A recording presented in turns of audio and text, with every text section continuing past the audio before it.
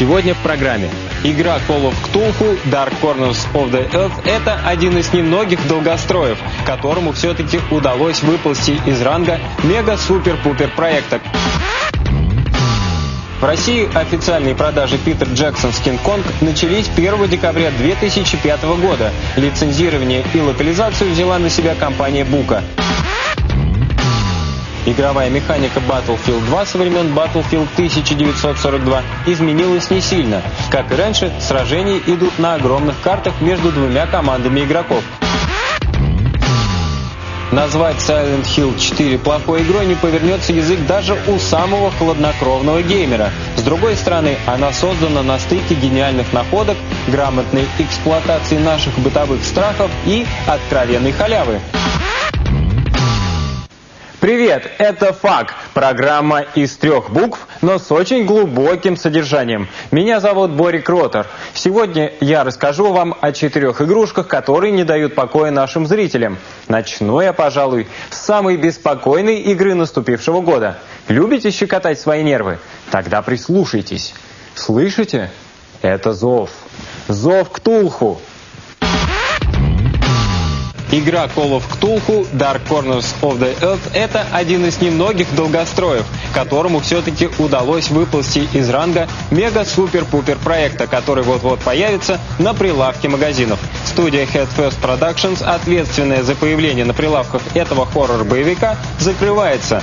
Ситуацию не смогла спасти и продажа прав на бренд de Sosa. Большая часть сотрудников Head First уже переехала с вещичками и новыми идеями в такие компании, как Codemasters, Crytek, Lionhead и BioWare.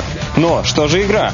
С ней, как ни странно, все не так плохо, как с разработчиками. Видимо, что выложились они на все 100%. Причем все свои усилия они направили на атмосферу игры и ее содержание, а вот на графику уже силенок не хватило. Что я могу сказать? Call of Cthulhu — это самая страшная игра сезона, причем во всех смыслах слова. Графика — самое слабое место в игре.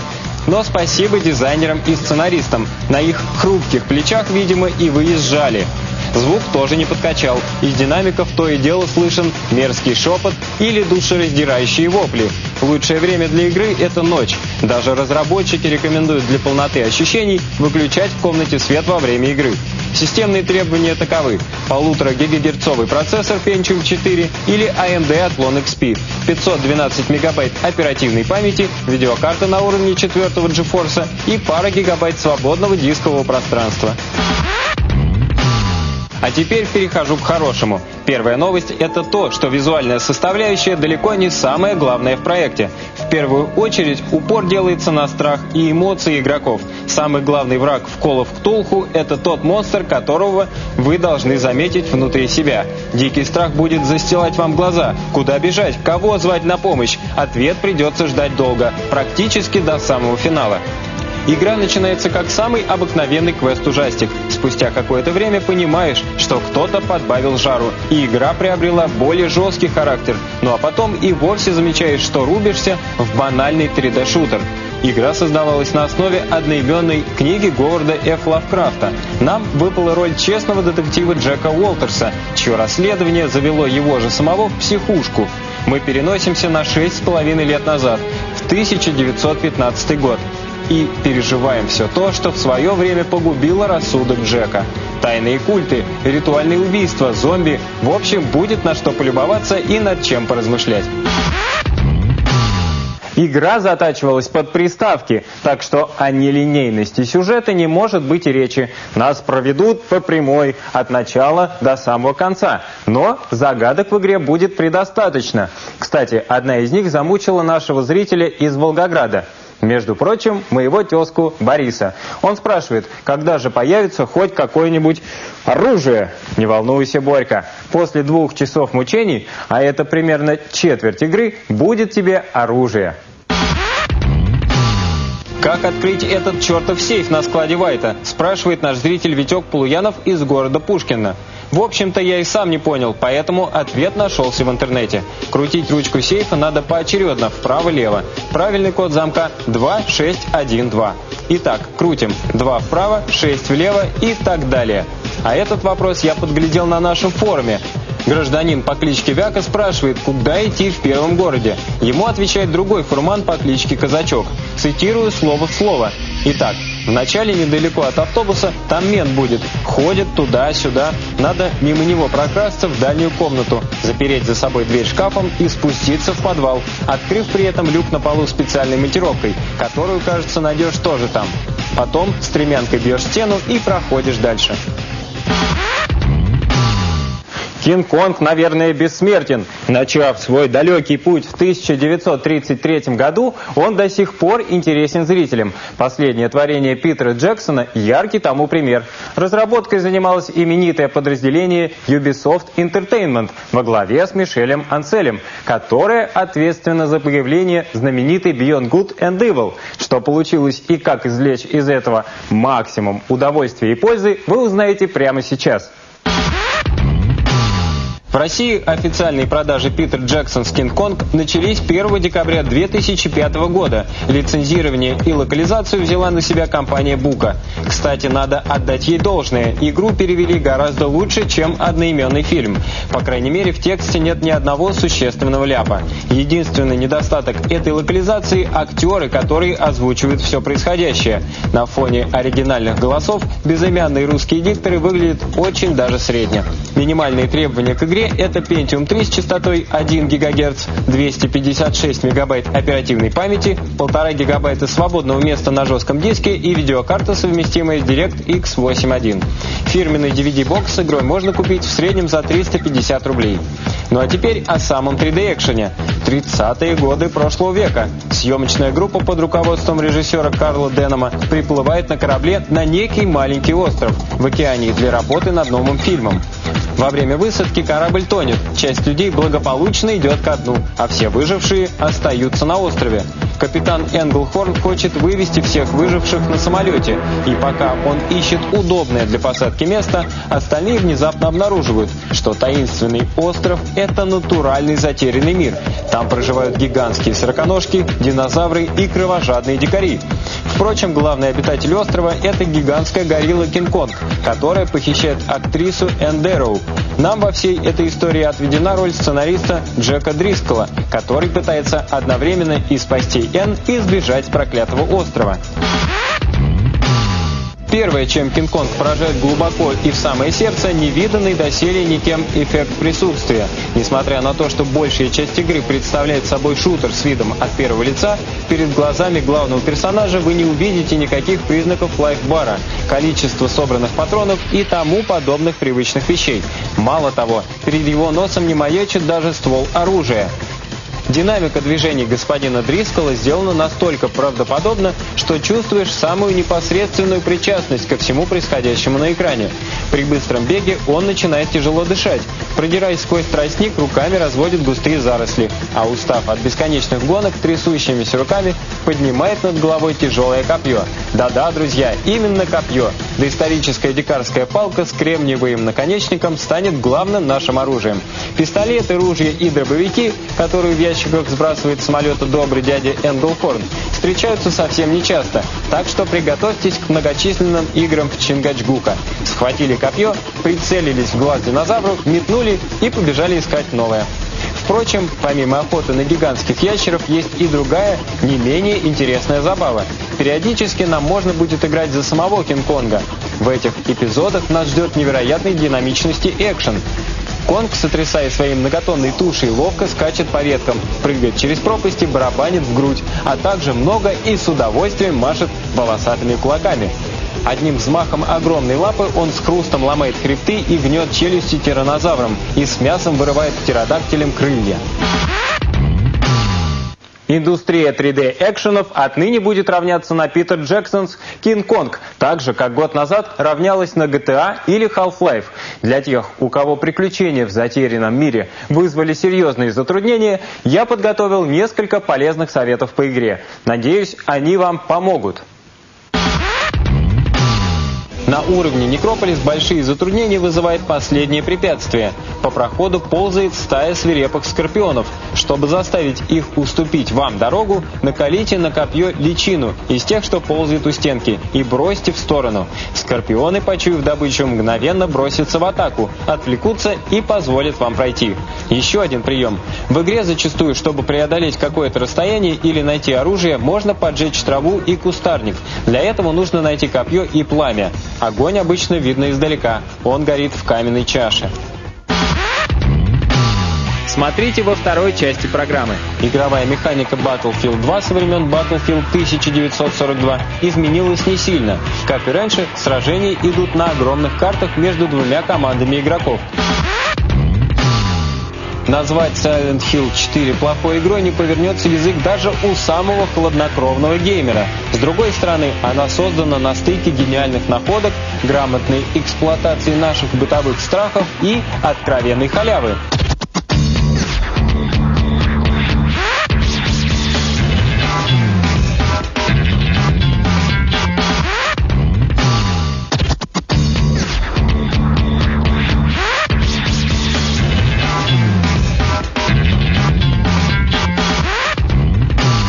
Смотрите во второй части программы. Игровая механика Battlefield 2 со времен Battlefield 1942 изменилась не сильно. Как и раньше, сражения идут на огромных картах между двумя командами игроков.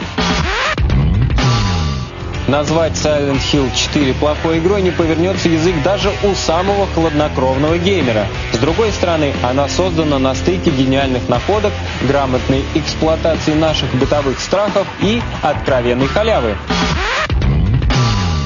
Прошло уже около года с момента выхода второго Battlefield, а страсти все не утихают. Армия фанатов растет как на дрожжах. Дополнение выходит одно краше другого.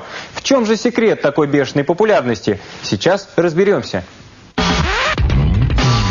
Игровая механика Battlefield 2 со времен Battlefield 1942 изменилась не сильно. Как и раньше, сражения идут на огромных картах между двумя командами игроков. Максимум 64 пользователя. Задача каждой из них не уничтожение противника и не набор фрагов, а захват ключевых точек, разбросанных по всему уровню. Каждая такая точка отмечена флагом. Battlefield 2 это в первую очередь многопользовательская игра, но есть и одиночный режим.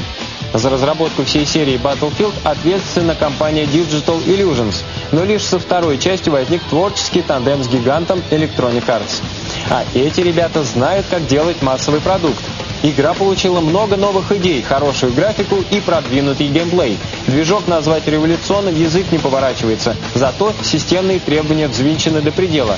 Когда второй Battlefield только-только появился, были неимоверные тормоза даже на самых современных компьютерах. Последовавшие за выходом патчи несколько подправили положение, но не намного. Графика стала побыстрее, а время загрузки уровней не уменьшилось. Ждать приходится все равно от 5 до 10 минут. Как вы уже догадались, игрушка очень требовательна к железу. Рекомендуемые разработчиками системные требования следующие. Процессор Pentium 4 или AMD Athlon с частотой 3 ГГц, гигабайт оперативной памяти и видеокарточка, совместимая с 9 DirectX. На жестком диске играет лимит 2,5 гигабайта свободного места. Игроки, привыкшие к Battlefield 1942, долго отвыкали от прежней манеры ведения боя. Без всякой координации просто носились веселой бронированной гурьбой от одной точки к другой. Поначалу в Battlefield 2 воевали точно так же. Зато когда народ наконец сообразил, насколько все же удобны те командирские функции, о которых так долго говорили большевики-разработчики, порядка стало сразу намного больше. Игра отслеживает достижения каждого пользователя и по итогам раунда присваивает отличившимся товарищам те или иные звания. Лучший игрок становится командиром всей команды. Еще несколько отличившихся игроков получат собственное подразделение до пяти человек. Со стороны может показаться, что эта система никогда не будет работать.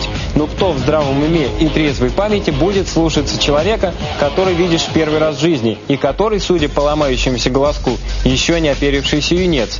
Чтобы не допустить непослушания, авторы игры наделили командира не только правом отдавать приказы, но и целым рядом преимуществ. Он может сбрасывать боеприпасы, обеспечивать артиллерийскую поддержку, посылать беспилотный самолет-разведчик и транслировать с него информацию о местонахождении войск противника на мини-карты своих бойцов. Руководители складов такими широкими полномочиями не обладают, зато им легче подобрать разнопрофильную команду, чтобы в отряде был и медик для лечения, и инженер для починки техники. Кроме того, командиры служат мобильной точкой респауна. Рядом с ними могут возрождаться их погибшие подчиненные. Хочу вас сразу предупредить, играть без аудиогарнитуры крайне неудобно. Потеряете большую часть удовольствия. Координация действий внутри команды осуществляется через систему голосовой связи, и система эта проработана лучше, чем где бы то ни было. Бомбы истребителей, десант, танковые обстрелы, взрывы ракет с лазерным наведением – все это придает игре тот самый шарм и ощущение масштабных боевых действий, которые так нравятся игрокам. Освоить почти все средства передвижения, кроме, пожалуй, самолетов, вертолетов, исключительно легко. Но свой дальнейший рассказ я поведу как раз о воздушном транспорте. Точнее, о том, как его можно использовать. Как бы это сказать, с пользой. Интересный сюрприз я обнаружил на карте Затар Wetland. Запустите сервер на 32 или 64 человека. Садитесь на самолет или вертолет и летите к северо-восточному флагу. Вы увидите небольшую ферму, а на поле за ней загадочные круги из травы, которые якобы оставляют пришельцы. Истинно где-то рядом. А теперь полезный совет. Каждый солдат снабжен парашютом. При этом очень полезно научиться технологии затяжных прыжков, чтобы открывать парашюты буквально у самой земли. Представьте себе, что вам во что бы то ни стало нужно захватить флаг, а из оружия только спецназовец и вертолет. Что мы делаем? Садимся на вертолет, летим в условленное место и прыгаем точно над флагом. Пока защитники флага не опомнились, спецназовец с щедрым жестом сеятеля разбрасывает свои взрывные устройства. А потом, не долетая до земли, спецназовец устраивает большой бабах, и флаг, что называется, доходит до кондиции и полностью готов к захвату. Главное, не подорваться на бомбах самому. И напоследок еще один ужастик. Серия игр Silent Hill всегда была исключительно приставочным деликатесом. И только сравнительно недавно она появилась на PC. Последняя, четвертая по счету часть, названная The Room, безусловно, самая неоднозначная игра серии. И сейчас вы узнаете, почему. Назвать Silent Hill 4 плохой игрой не повернется язык даже у самого хладнокровного геймера. С другой стороны, она создана на стыке гениальных находок, грамотной эксплуатации наших бытовых страхов и откровенной халявы.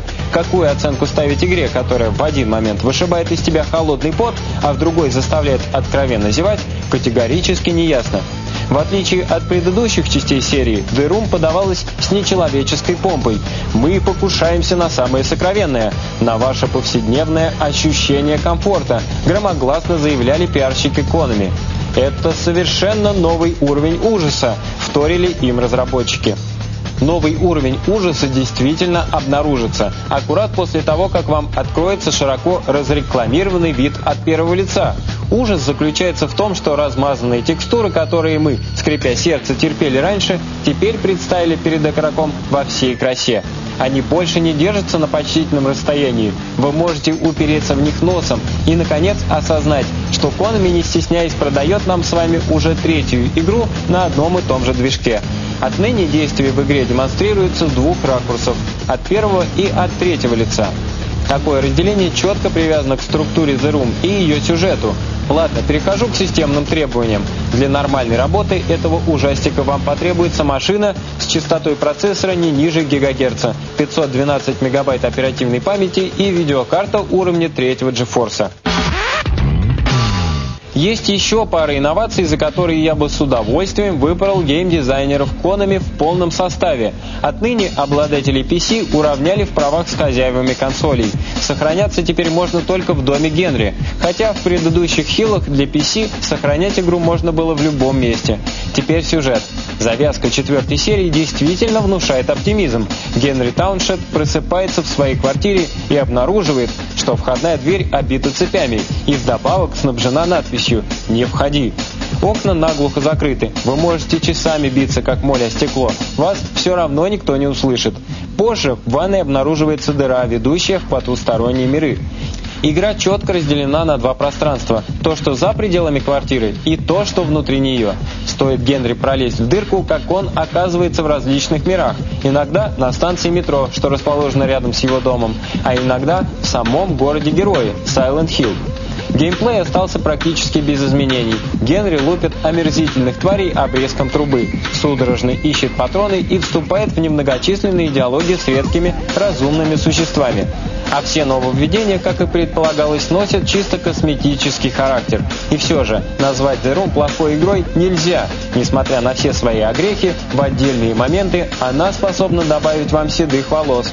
Страшно бывает до жути.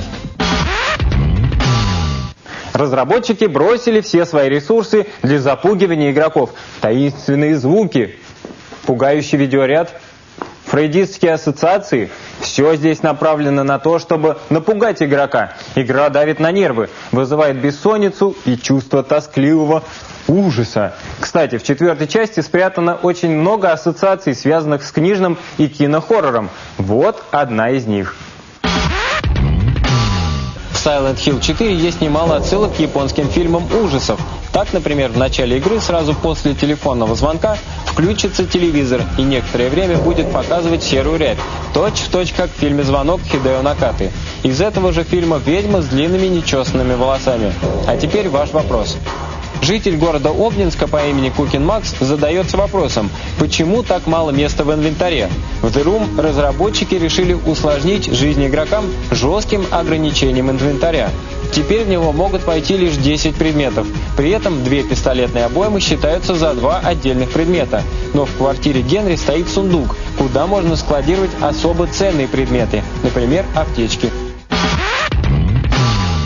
На сегодня, думаю, хватит. Всю следующую неделю буду разбирать ваши письма и выуживать оттуда самые интересные вопросы. Напоминаю вам свой имейл faq собака С вами был Борик. Увидимся ровно через неделю. Пока!